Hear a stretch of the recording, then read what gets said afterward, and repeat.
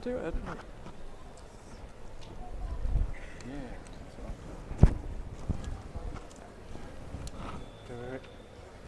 Uh, good afternoon, everybody, and uh, welcome to uh, this afternoon's session, uh, which is 1914, uh, Remembering the First World War. Um, I'm not sure whether it's only 1914. The war rolled on for four years, but uh, we'll yeah, we'll be back.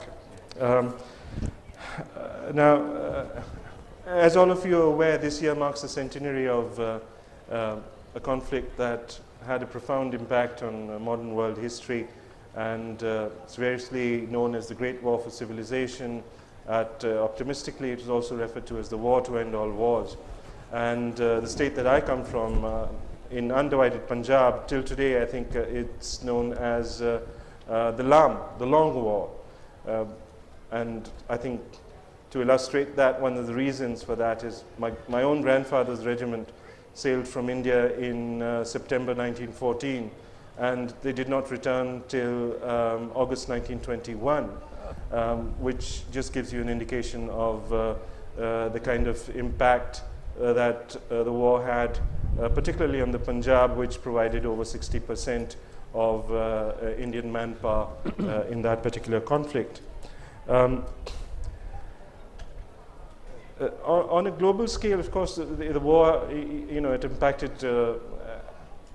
people and countries at various, various levels. It, it's resulted in the end of, of four empires, uh, uh the, the, Germans, the Austro-Hungarians, uh, the Turks, and uh, the Russians. Um, all, all, those empires vanished. And uh, uh, the impact of the war is, is actually felt um, in some of the modern day conflicts, particularly in the Middle East, till today. I'm very glad that we have a, um, a very interesting panel to, to talk about uh, the war and its memory. Uh, I must uh, give you a bit of a background of how this panel came about. Actually, in, it was initially when we, we spoke about this panel, it was intended to be to focus on uh, India and the Great War. Uh, because, and we'll come to that later, uh, while in many parts of the world there is um, what could be called a surfeit or an excess of memory, uh, in India, for a number of reasons, there is almost uh, no memory of World War I, and I'm talking about this on an official level. And why that is there is, is part of what we will be talking about a little later. Um, but it's not that India didn't have uh, or did not contribute uh, in significant terms to the war effort. It, Indian contribution was very significant indeed. Uh, we had more than 1.5 million men that served overseas uh, during the war. Almost, uh, I think, 70,000 of them uh, did not return to Indian shores. Uh, Indian soldiers fought uh, in Gallipoli, in France, Belgium, East Africa, Mesopotamia, in Iran, and, of course, on the northwest frontier. Salonika, and I'm sure there's a couple of other uh, theaters that I've missed out. In, uh, uh, in terms of equipment in stores, India contributed over 80 million pounds worth. And this is a, a statistic that I'm quoting from uh, the Commonwealth War Graves Commission. And just to put that in perspective, 100 pounds in 1917 would have been equivalent to 34,000 pounds today. Mm -hmm. Uh, so 80 million pounds uh, was a lot of money. But that wasn't the only contribution. Uh, India also contributed in direct monetary contribution from its revenues till 1920, the sum of 142 million pounds. So India had a very significant role to play in that conflict. Um, but of course, it was a global conflict, and um, we're here to talk about how the war is uh, remembered on global levels and, of course, various other aspects um, of that conflict. Uh, we have uh, today um, on this panel um, uh, Peter Stanley, who's a, a, professor at the University of New South Wales in Canberra at the Australian Defence Force Academy.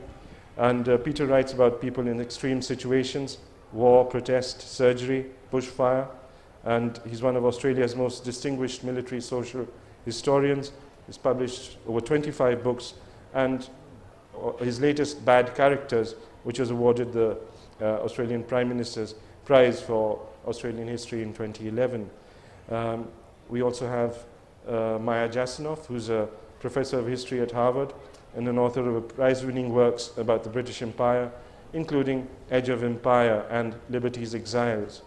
Uh, the latter won the 2012 National Book Critics Circle Award for Nonfiction, uh, the George Washington Book Prize, and was shortlisted for the Samuel Johnson Prize. And she's currently writing a book about the novelist Joseph Conrad and his times. And then we have uh, Geoff Dyer. Geoff lives in London. He's the author of four novels, and most recently, Jeff in Venice. Uh, six uh, genre-defying titles, most recently Zona, which is about Andrei uh, Tarkovsky, uh, Tarkovsky's film Stalker, and two collections of essays, Anglo-English Attitudes and Working the Room. A selection from these two volumes titled, otherwise known as The Human Condition, was published in the United States in 2011. Uh, Geoff has also written uh, a book called The Missing of the Somme, which articulates a response to the memory of the Great War. And I think we'll kick off today with Geoff, and um, you know, Geoff could share with us, you know, what, what got you to write that book. Sure. Well, thank you, Rana, and thank you all for coming.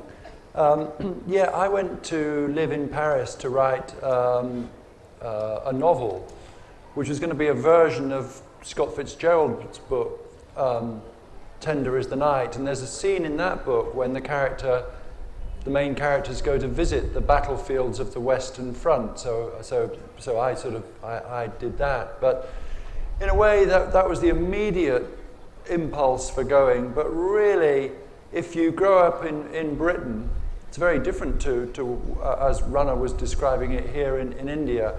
I mean, the First World War is, is everywhere. And so my, my sense of this is incredibly, I mean, it's incredibly, my, my sense of the First World War is incredibly deep seated and incredibly personal. I can remember so vividly as an eight year old boy, we'd go around, I'd go around to my friend Gary Hunt's granddad's house. And almost every time we went there, he would drop his trousers and show us his shrapnel wounds from the First World War. And I mention this so there was, an there was an absolutely living connection. I mean, I'm 55 years old. There's now no one alive in Britain who fought in the First World War. But when I was a kid, it wasn't just part of you know, history, it was really part of the lived fabric of, of everyday life. And I think the other thing I would say is, I mean, it, it was, it was the First World War. It was a, it was a world war. It was, you know, it was happening all over the globe. But I think one of the strange things, and we can talk about this, uh, for a world war, it was extraordinarily local. And by that I mean that whereas with the Second World War, we all have a sense of its, of its general narrative. You know, the fact that I'm British and know there was a Battle of Britain doesn't delude me into thinking that the Second World War was won over the skies of Britain. You know, everyone is familiar with the importance of Stalingrad, the Pacific War, all this kind of stuff. Whereas I would suggest that by contrast, each nation tends to remember the First World War. The First World War can be condensed down to one particular place. So, at the risk of, I have this great fear of saying, saying something in which would be put right by Peter. You know, for Australia, it's, it's Gallipoli. For the French, it's Verdun. And for the British, it's the Somme. And I think one of the interesting things about this, that the thing that each nation sort of celebrates in a way, celebrates, commemorates, also tends to be the single most calamitous event. So for France, it's the meat grinder of Verdun. For, for Britain, it's this, you know, this incredible catastrophe of 60,000 casualties on the first morning of, of the Battle of the Somme. So I think that's quite a significant thing about the, the sort of the way that this, you know, this cataclysmic event lodges in our consciousness. And then just to both loop back to that initial visit I made to the battlefields of the Western Front and to tie it in with uh, India. I, I didn't really know where I was going to go. And then I came to this memorial in Thiepval where written with these huge, it was this memorial to the, uh, to the 70,000 uh, British and Commonwealth troops who died in the course of the Battle of the Somme, whose bodies were never found. And all the way through my childhood, you know, I'd hear my grandfather talking about his experiences on the Somme. And there it was in huge letters, this, written on this memorial, the missing of the Somme. And there was such a sense of sort of convergence there. Anyway, that, is, that was the sort of main occasion for my writing the book. But also, I think that's significant for this afternoon's discussion because I think it's, it's, one of the, it's a coincidence, but it's more than that, that that memorial, that incredible memorial, which was inaugurated in 1932, it was designed by Sir Edwin Lutyens, who, you hardly need me to tell you, also designed New Delhi, which was inaugurated just the year before in 1931. So I think there's this sort of extraordinary thing that goes on. Both of these things, you know, the war is, of course, an, uh, in many ways, it's an imperial war. New Delhi is intended as this great citadel of the, the kind of majesty of the, of the British Empire. And both of these two things, designed by Lutyens, become, in their different ways, memorials, I think. So that would be my opening, uh, those would be my opening thoughts. Thank you. Thank you, Geoff. Um, interesting you should mention Thiepval and uh, Lutyens because uh, uh, I went to, to Thiepval and Lutyens also designed uh, my school. And um, uh, when I went there, and you know, I kind of felt, oh my God, the, the, the arches, the red brick, it's, I, it was like being back in school. The other interesting point I think what Geoff makes, I mean, he talks about the Somme and how that is central to British memory, and Gallipoli is central to Australian memory. Uh, the, the interesting uh, thing is that in both of these battles, we had Indian troops present. Mm-hmm. Uh, at the Somme, you still had the Indian Cavalry Division that took part in that battle. At Gallipoli, we had an entire Indian uh, infantry brigade and, a, and, an artillery brigade.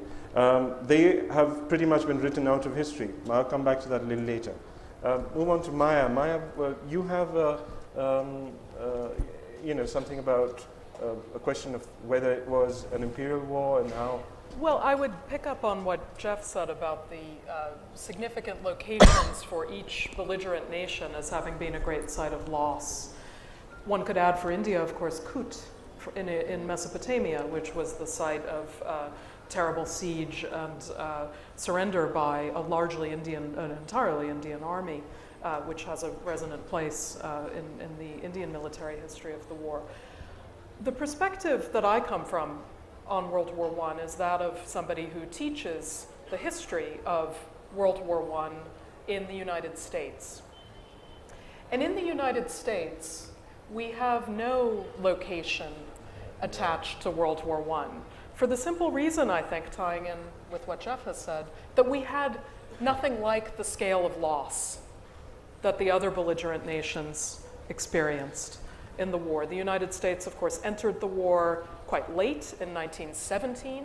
So 1914 is a date quite without resonance in the United States. Uh, and our experience of the war was one that uh, has been so uh, neglected mm. that my job, in a sense, is to teach Americans why it matters. Mm-hmm. And I think that this is a, the, the, the world, the, the experience of World War I is a wonderful object lesson to me in the way that history looks different depending on where you mm-hmm. stand. Mm-hmm. It's an amazing illustration of that because the histories do look different from Britain, um, you see the Somme, from France, and you see Thiepval, and so on. Uh, Australia, you see Gallipoli. From the United States, though, you see nothing. And I think that tells us something very important about the United States' self presentation in the world.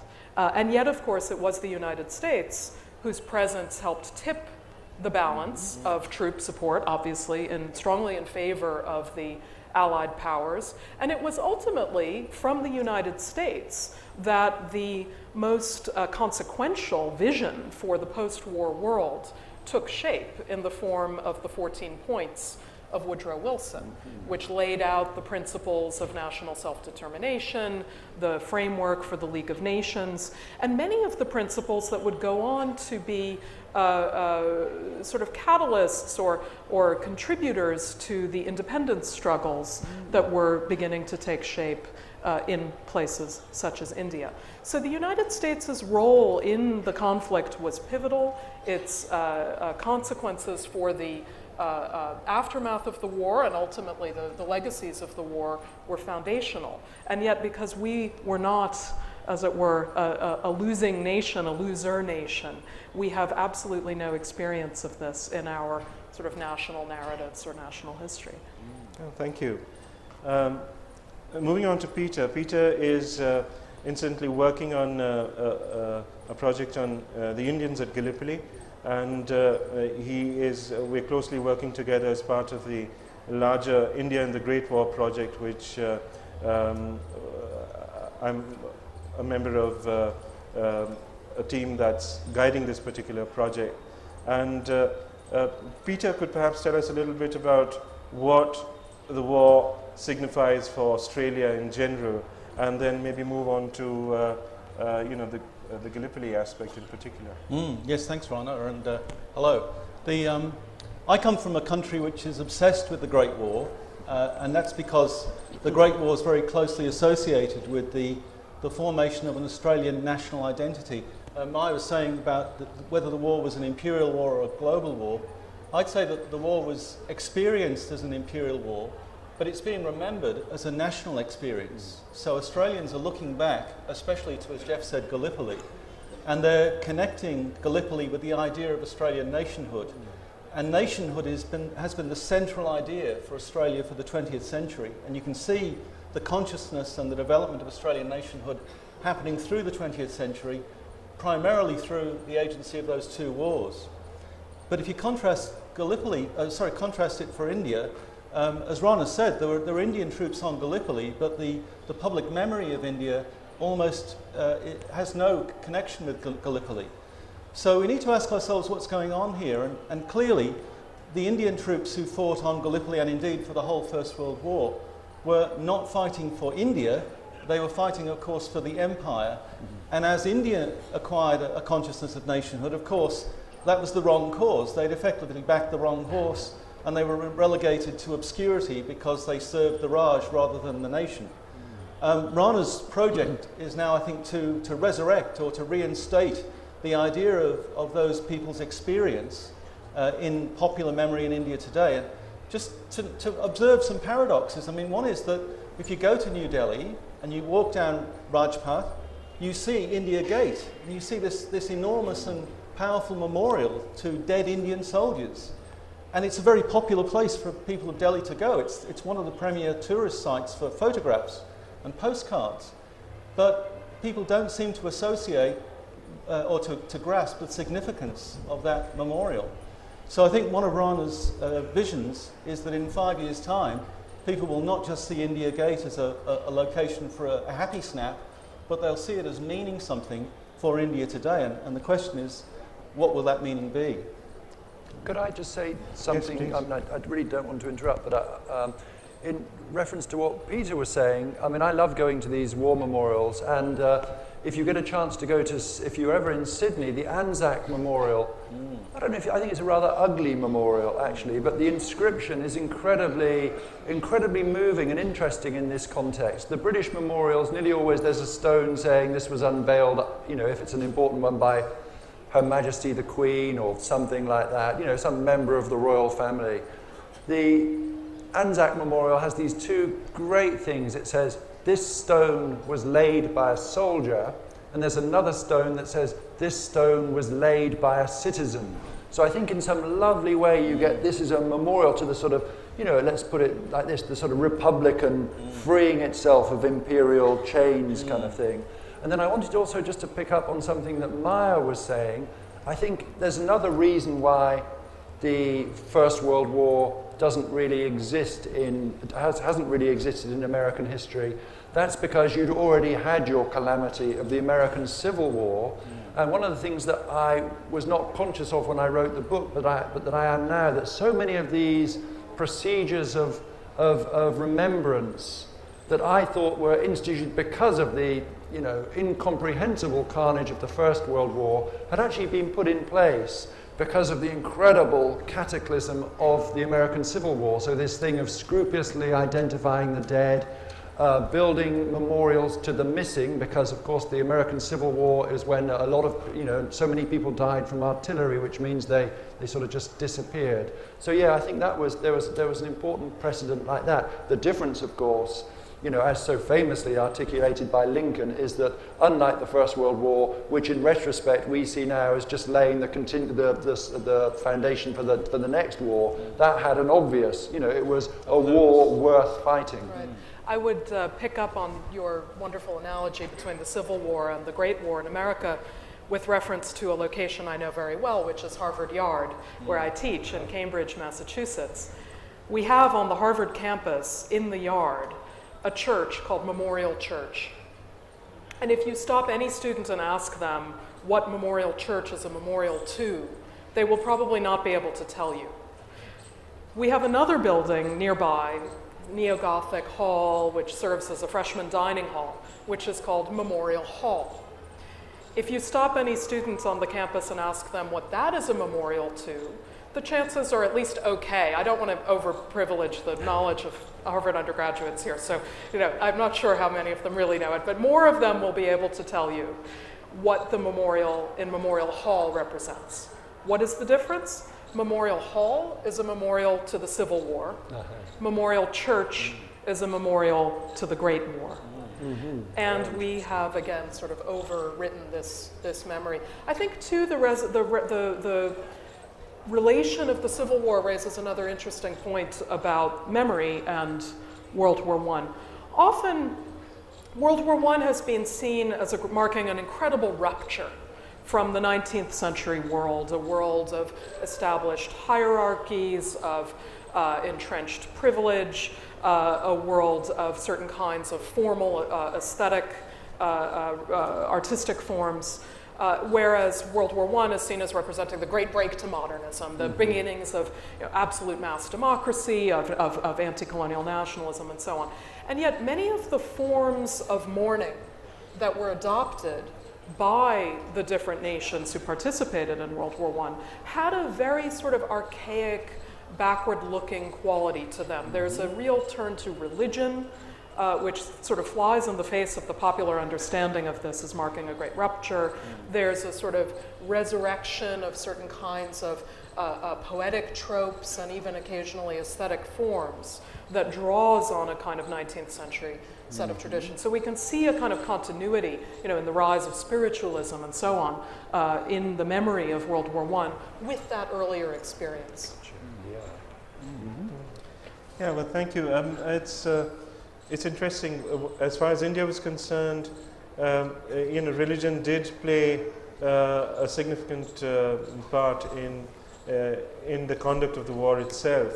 Uh, we had a very significant proportion of Muslim troops, and of course, the entry of Turkey into the war. the Sultan of Turkey was the, as the Khalifa, was the nominal head of, spiritual head of Islam, and that was played up uh, not just by pan Islamists around the world, but interestingly enough by Germany itself. And uh, uh, the, the, German uh, propaganda machinery was uh, working in uh, overdrive, um, setting out rumors that the Kaiser himself had converted into converted to Islam. in Muslim prisoners of war in German POW camps were given spe special indoctrinations. there was a uh, a qazi that used to go and you know indoctrinate them and uh, lead them in prayer and so on and so forth. Um, there's an interesting story of, uh, on that. Uh, there was uh, in late 1914 or early 1915, one of the Indian regiments that was serving in France had a significant proportion of Afridi Pathans. And uh, the Afridis have always had a very precarious, uh, had a very precarious relationship in the British Indian Army. Uh, the, a section of these men, about 14 of them, led by their VCO, um, deserted to the Germans. And this man was uh, Jemadar uh, uh, Mir Mast. And uh, the Germans made much of this. They feted them. They, uh, you know, presented them to the Kaiser. And the story goes that Mir Mast was actually presented with uh, an Iron Cross. Um, and uh, uh, about three uh, months after that, Mir Mast's brother, who was still in the British Indian Army, mm. was presented with the Victoria Cross by mm. King George V mm. for, you know, holding up a, a, a German attack in the Second Battle of Ypres. Uh, the underlying insinuation behind this, of course, has always been that this was a political VC to counter the Iron Cross uh, awarded to his, uh, his brother. But the more interesting thing over here, and this is, uh, you know, how, there was a, a, a, there was a very strong um, uh, underground political movement uh, originating from Berlin, whereby they were uh, encouraging not just the pan-Islamists, but also Indian revolutionaries. And uh, there was a provisional government of uh, Free India that was set up under a man called Raja Mahendra Pratap, and Raja Mahendra Pratap accompanied two uh, Prussian officers. It was called the Niedermeyer-Hentig expedition that came through very surreptitious routes from Baghdad uh, all the way to Kabul. And from in Kabul, they set up this provisional government, and the uh, intent was to try and encourage uh, and fo uh, foster, foment rebellion against the British Raj in India. So now that was an interesting story in itself, but the other day when we were actually researching for uh, our project on India and the Great War, we came across uh, uh the photo album of the Niedermeyer-Hentig expedition. And over there in Baghdad, before setting out, were these six Muslim Indian troops in Turco-German uniform. And they were named. And at one end of that group was standing Mir Mast himself, you know, so there he was deserted to the Germans in France and uh, standing there in this uh, German uniform in Baghdad before landing up in Kabul. So uh, there, you know, it's, it's just interesting how, uh, how all these undercurrents were being played out. And as again, coming back to India and the war, it wasn't just, uh, uh, just the war effort, just in terms of men going abroad and fighting. The, uh, the First World War actually set the, uh, the, uh, the tone for the anti-colonial movement subsequently. When World War I broke out, India, I mean, almost most of mainstream political opinion was in support of the war. And Indian support for the war astonished uh, the British no end because you know they they were taken aback by this uh, phenomenal display of loyalty. But the reason behind that at that point in time was, of course, that uh, Indian political opinion felt, or they were agitating at that point for uh, home rule or dominion status. And they said if we want a greater burden, uh, uh a greater uh, uh, share of responsibility, we must be able to also share the burden of imperial defense equally. So that, in effect, was, of course, well, a kind of how in, the war played out as far as India was concerned. But yeah. Can I pick up on that story? Because the story you just told of Mir Mast and the, the uh, Afridi Pathans suggests an explanation for why the Great War is not remembered across India as a whole. As you said, that the, the British Indian Army was drawn from particular places and particular peoples in British India, so particularly the Punjab and the Northwest. Um, but other parts of India had no men serving, although that uh, widened in the course of the war. So when people from Odisha or Chennai or Kolkata come to India Gate, they don't see their names on that memorial. So that the, the experience of the Great War in India was, as, as Geoff said, was localized. That it's a, a tremendously powerful part of the, the, the undivided Punjab's experience and memory, but it's completely irrelevant to other parts of India, and that's one of the obstacles you'll be overcoming, no doubt. Yeah, no, you're, you're right in that. And since the Indian Army was, of course, uh, uh, when the war broke out, was based on what the British called the martial races theory, mm. and uh, uh, so that meant that there were only certain classes from certain uh, states and even certain districts within those states that uh, were recruited um, mm. into the Indian Army. Uh, that's not to say that they weren't recruited from other parts of the world. There is actually a village uh, down in uh, uh, in Kerala that has a, a, a memorial to over 300 men who went into the war. Uh, there are memorials in Chennai and other places, but um, as Peter rightly points out, there were, the spread across the population was not as much as it was in uh, the north of India, and that was, mm. of course, the Punjab, um, Rajasthan, Garhwal, and certain areas in the United Provinces. Mm. But uh, you have to remember that in India, in the Indian army, um, it was not a conscript army, it was a volunteer army. Mm. And uh, as I pointed out yesterday in uh, uh, the session with Antony Beevor, in World War II, um, the Indian army was uh, uh, 2.5 million strong, and each man a volunteer. It was the largest volunteer force in the history of human conflict. But, um, and as it was in World War I. Although in World War I there's another story that isn't very widely known, and that is the contribution of uh, India in terms of uh, the labor forces that were, the, so that was a non, it was military labor, but not soldiers. They were, they were part of the labor corps. Mm -hmm. And, uh, uh, you know, uh, they, that's a story that's, that's not really been, been told um, very widely. There was an extensive Chinese labor corps, and people know about that. But uh, we very often miss out the fact that uh, there were nearly about 80,000 80, Indians who served in these uh, uh, labor corps in various theaters of war. I think perhaps we could, um, and it's a wonderful story that you were telling. Among other things, it makes me think about the continuities between World War I and World War II, where, of course, the experience of the Indian National Army is, is absolutely well known and central to the story of independence here. Mm. So, some historians have argued that one can see World War I and World War II together as a long war, a very long war, uh, but the different pieces of it resonate differently. But I think what I was also struck by listening to, to what you said about, uh, about the Afridi Pathans is the way that all memories of, of the war that we've been discussing so far are memories of the military, the men in the trenches, the men on the ground. And yet it is the, the relatives, the survivors, the mm. civilians who mark their loss. Mm.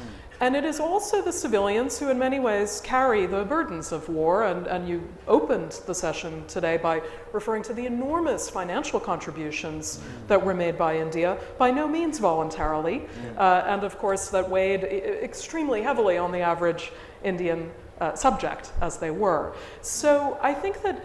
Uh, it, it, it, seems to me that if the India Gate is to hold a, a wider resonance in India uh, for, for all citizens of this nation. It's that aspect of the contribution to the war effort, the, the contribution to a war that is made by all of the people living in the belligerent nation, living uh, uh, on, the, on the home front of the war, that needs to be folded into our narratives. But then there's such a difference, though, between the First World War and the Second World War in that respect.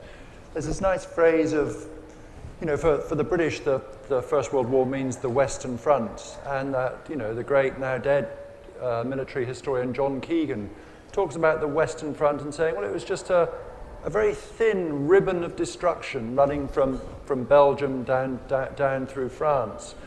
And that's quite a, and of course, the, you know, as a result of the pressures on the economy, you get, unim, you know, you get shortage rations, this sort of stuff. But crucially, you were only physically at risk if you were one of the, if you were in the, in the military. Uh, you don't get that, uh, you know, that there's a crucial thing, apart from a few early kind of air raids, you don't get this thing of total war whereby everybody just by virtue of the fact that they're German, becomes, I mean, there's a certain amount of fussing around, of hedging, but really with, with uh, mass aerial bombing, that is when everybody is, is completely involved in, in, in the war, militarily as well. That's right. There are 70,000 British civilians who are killed in the Second World War as a result of bombing, of so bombing. it is much more yeah. broadly spread. Yeah. Um, just uh, carrying on from what Maya mentioned, there were uh, the interesting thing is, you know, as part of this project, we were actually looking at uh, finding Indian voices from the Great War, which is something which, incidentally, mm. Peter had a, a, a, very interesting session just before we came over here mm. at the institution where, uh, where I work. Um, the Indian voices are, well, sadly lacking by and large. One of the uh, major resources as far as um, uh, Indian troops are concerned is a, is a collection of censors' letters, which is available in the British Library. Um, and, but uh, apart from that, we also looked at, um, at folklore, at, uh, at folk songs. Mm. And because in most, almost all our soldiers at that point in time came from rural backgrounds. And uh, it was a tradition in rural India that uh, the, the, uh, the, the exploits of brave men would be, um, uh, would be sung about. So there were bards that would compose these songs and they would sing them. But the interesting thing we found about World War I is that uh, the, the, most of the poetry was, uh, or most of these songs or these compositions came from women. And it, there were women that were talking about longing, about desire, about separation, uh, and you know they wanted their men to come back. It wasn't so much about chest thumping and you know rah rah guys are fine. So it was very interesting. The other interesting thing we came across is really really interesting letter in which had been written by a Jat Risaldar to uh, uh, a paper which was started by Sir Chotu Ram called the Jat Gazette. Uh, and he's writing this in I think 1917. And he says that this is a war which is, is a terrible war, but I wish that it, it does not end soon because for the first time, he says our people, and he's talking about the Jats, you know, from the state of, present state of Haryana. He says the first time that our people have actually been able to get out and see the world, the larger world, and how people in, in other countries live. And, uh, and in, in a sense, he said it's, it's opened our eyes. And, and the more of our men that can get out and see that, it will uh, bring a greater change into our own lives uh, from the places that we come from, which I found very, very interesting. Can, can, I pick that up? Because the, the idea of Indian voices is central to the rediscovery and the reinterpretation of the Great War in India. Um, it seems to me that, that there are Indian stories out there, literally out there. As you say, that there are very few official uh, records which, which give Indians a, a voice. And the family in India is a very private thing, but I'm convinced that there must be many families in India who cherish stories that they've received from their forebears. And I don't just mean their great grandfathers, I mean their, their, their, female relatives as well. But they're partly hidden because nobody's ever asked them for it. And if, if somebody could take up that, that, that burden and approach people and try and break through that veneer of privacy that families erect, and perhaps we might learn things about the experience of the Great War by Indians, of Indians, that we didn't know before. And, and to pick up a point that Maya made briefly, um, I'm going to plug a book here, but as you can't buy it in the shop, it doesn't matter. The, um, the book that's, that's just about to land in my office in Canberra is called Lost Boys of Anzac. And it's about the, the very first Australians to die on the very first day of the landing on Gallipoli, 25th of April 1915. And there were exactly 101 of them. Not 100, unfortunately, but 101. Hmm. Um, and I've written a book about their experience before the war as soldiers, very briefly, and on the day they died, the day of the landing.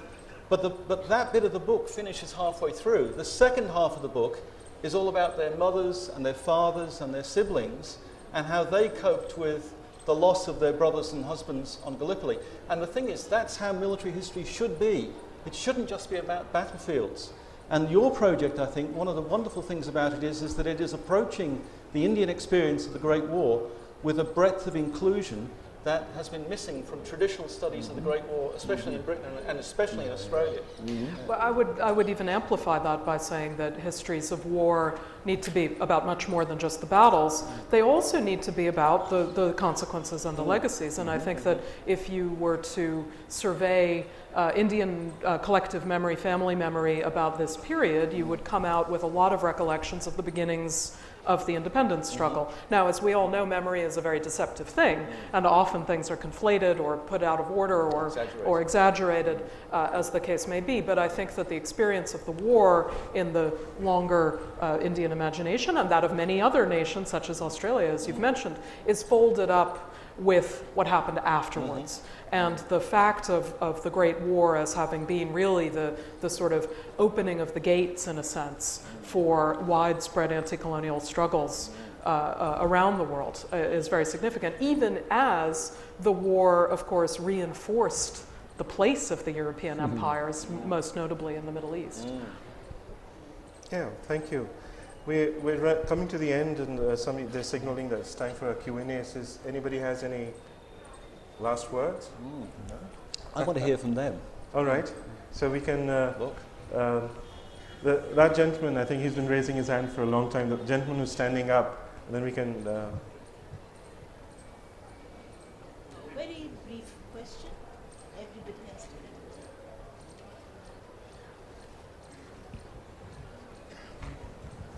Hello. Do you think the Second World War will continue to, to enjoy the status of being the last world war for all times to come? I if so. not, yeah. if not, then when will be third war be there?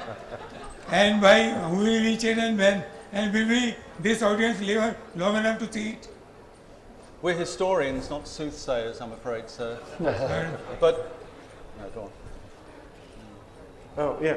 Uh, well, yes, sir, sir, certainly we hope that, uh, you know. Uh, we hope it doesn't happen. Yes, absolutely. Because the gap between first and second was very short. It, it since, was. And since second it is quite long. It, well, I mean, as far as the First World War was concerned, uh, as historians and, you know, with the benefit of hindsight, um, we can pretty much look back and, and say that uh, World War II was in the making. But luckily, I think uh, events have we moved far enough in time to say that there is a break as far as World War II is concerned. And if and when and hopefully never, well, yeah, we pray that it doesn't, but I don't think there will be a link to. The gentleman in, in the front row, he, he's, uh, um, he obviously came early enough, so I think he needs to, deserves a prize. So. Thank you something of both Rana, you and Peter mentioned, but didn't elaborate, is 19, First World War is not remembered. We enthus enthusiastically embraced it. We believed that this was a war for liberty. Mm.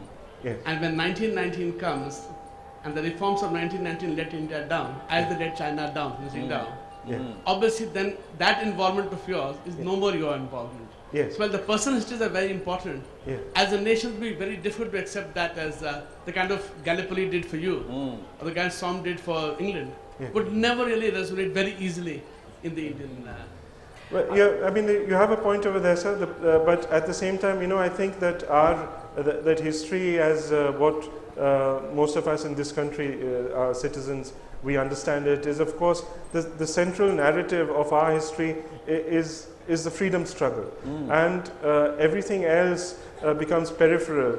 Uh, but uh, my uh, my submission in that is that even with, if you look at the the, uh, the history of the freedom struggle, both the first and the second World War played a very very significant role, mm. and that that role in itself, for whatever it was worth, is even that is negated primarily because you know the the the constructed narrative looks upon it and says, I mean, that was a colonial um, uh, fight, uh, it wasn't our, our thing. If, but, yeah, it is. If I could just add one point on that, I think, you know, on this subject of how the, the consequences of the war, of course, strengthened anti colonial nationalism even as they fortified empire. What you really see in the aftermath of, of the Great War so vividly, of course, at Amritsar, is the intensification of violence mm. and the fact that you have all of these demobilized soldiers, that you have a huge amount of weapons mm. in circulation, that you have new military technologies that are being brought to bear, mm. I think is, is hugely important. The first major aerial campaigns against civilians are mm. perpetrated uh, in, by the British uh, in the Middle East, in, in what is now Iraq. Mm. So you can see here the ways in which those two sides of the, of the legacy come together. Can I just say briefly, I'm glad you mentioned Amritsar because it's, I read in the New History of the Punjab by the author Gandhi uh, the possibility that among the victims of the Jallianwala Bagh massacre were just demobilized soldiers. Mm. And I'd love to know if any of those soldiers, if any of those victims were ex soldiers, because it points to the disillusionment that you mentioned about the Great War in India. Uh, Need a woman. I wanted to add about uh, the Singapore Mutiny thing. Mm. So you mentioned about the religion role, and you mentioned about uh, how memory is not served in, in context of India. But in Singapore Mutiny, what happened was uh, there were Muslim regiment, they mutinied, uh, they rebelled, and they seized Singapore for three days. And then it was quelled. 41 people were publicly executed. They all were from Haryana, oh. and they all were from Muslim Muslims. And afterwards, they, they, their families moved to Pakistan. So there is no memory of them in Indian history books, not in Pakistani history books. And also, the scale of people going to war was like 400 people per village. And from them, if 10 people rebelled, then who, I think it d- didn't matter for history people to focus on that. I think that should be as voices from women, as voices from other things. It, mutiny should be, I think, added also. no, Yes, can I- uh, yes, certainly, please. Oh, oh, thanks. No. Uh, Can I say that, that you've mentioned the, the mutiny of the 5th Light Infantry in Singapore. That's why you need military social historians, because the curious thing about that, and I, I, you're right with your analysis of the causes of that mutiny, but the uh, military social historians would point to um, the dynamics within that regiment to explain that protest. And the other thing about it is, is that the, the men who weren't prosecuted for mutiny volunteered to go and fight the war. So it's a much more complex position than a simple, these men are uh, protesting against British imperialism would have us believe. But again, I agree, it, it needs to be re examined. And I would especially hope to get some oral history from, if somebody could do it. Thank you. So the lady in red, uh, no, in front of you, here behind you rather, now, there.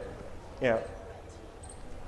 Hi, um, I hope this isn't a dumb question, but why were only certain um, castes allowed to participate in, in the fighting?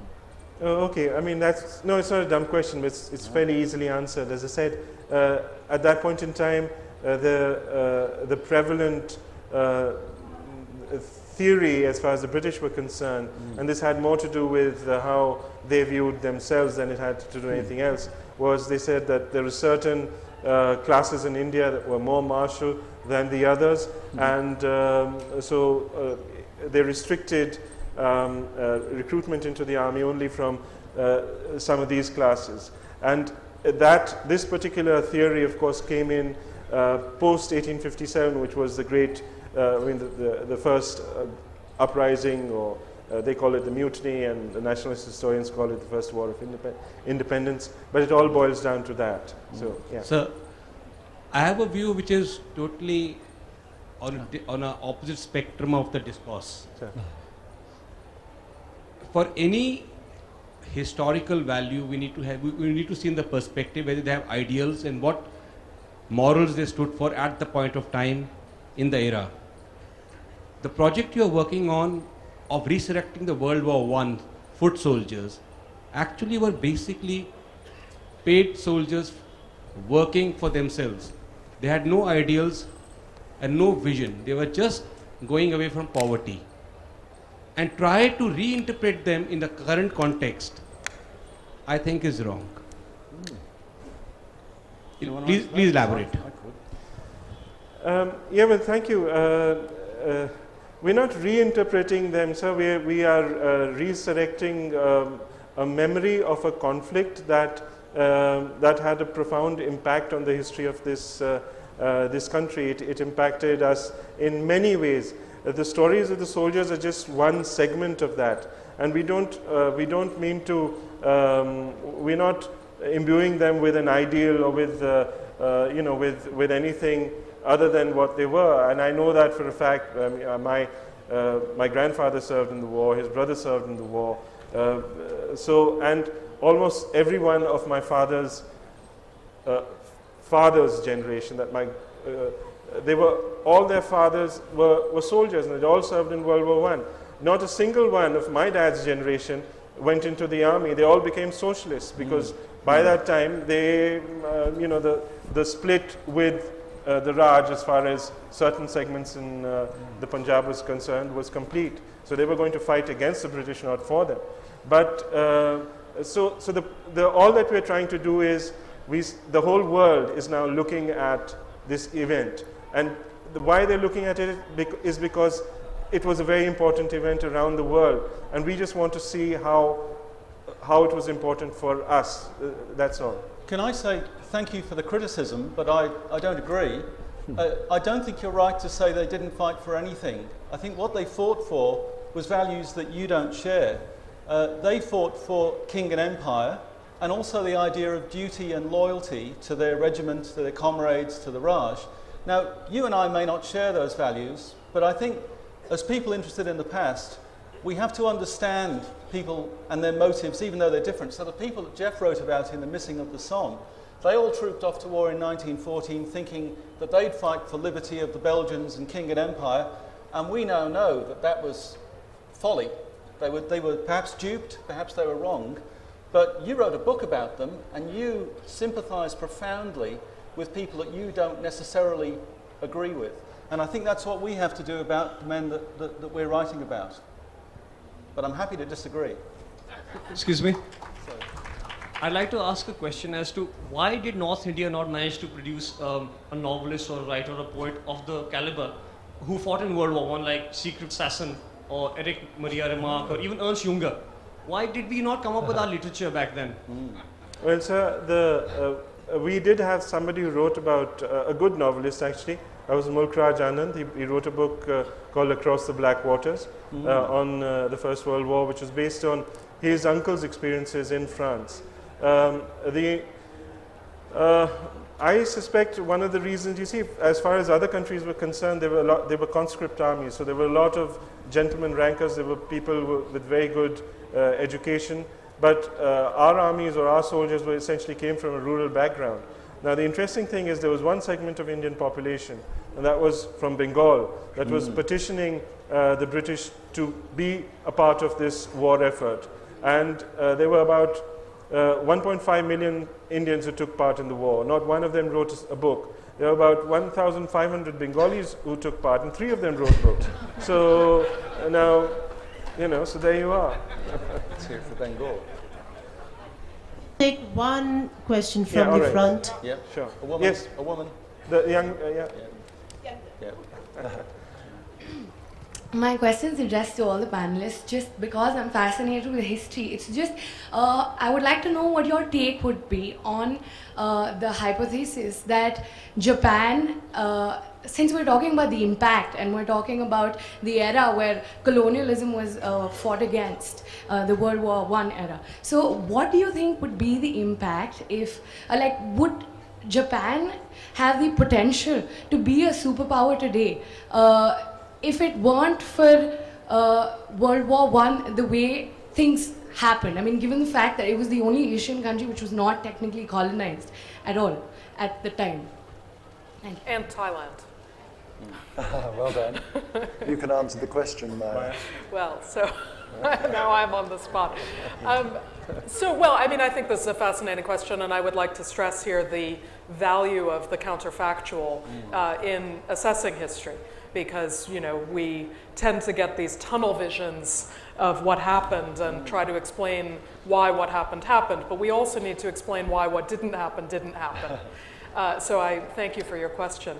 Uh, and I, I, would just say to that that one of the, uh, you know, we, we, look at World War I uh, often now in the context of nationalism, one way or another. But I would again like to reassert this question of imperialism and point out that in the era leading up to World War I, you have a fundamental uh, shift in the balance of imperial, uh, or in the balance of sort of economic power and industrial power in the world.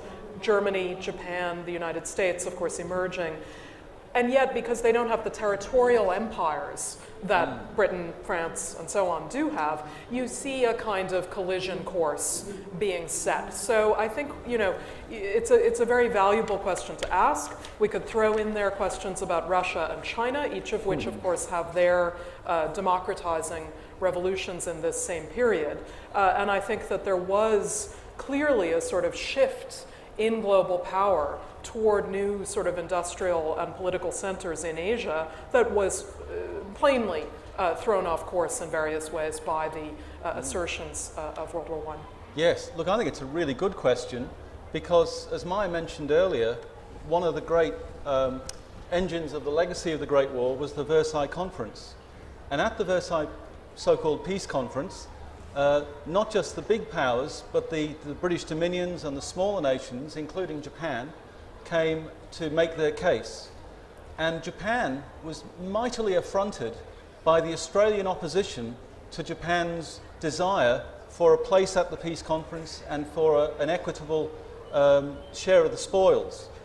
Now, it's probably too strong an emphasis, but the, uh, the Australian Prime Minister uh, literally uh, refused to deal with the Japanese and, and you know, said that he wouldn't deal with an Asian power. In fact, he wanted Australia uh, to develop the, uh, an empire in the Far East as a bulwark mm-hmm. against the Japanese. Now, if Hughes hadn't been so determinedly opposed to the Japanese, might that have made the Japanese better disposed towards the, West in the years between the wars? Mm-hmm. I'm not saying it was the most important factor, but you just put your finger on the fact that the Great War had profound consequences which those at the time had no idea about.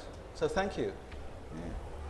Yeah. thank you, everyone. I think uh, we've reached the end of our session. Just mm. remains for me to thank our panelists. Well thank you, Geoff, Maya, Peter. Great. Thank you very much. It was really educative, very informative session. Thank you so very much, Geoff, Peter.